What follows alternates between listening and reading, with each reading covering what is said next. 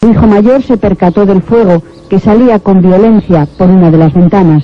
Pues yo estaba cagando y, me limpié el culo y fui a la ventana y vi el, incendio allí arriba, en el techo, y le dije yo a Esther, venga, venga, que, que vi fuego.